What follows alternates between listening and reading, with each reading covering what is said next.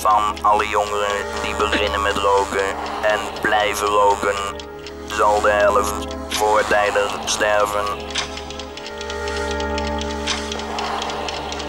Dat kunt u helpen voorkomen. Roken, dood en doodzonde.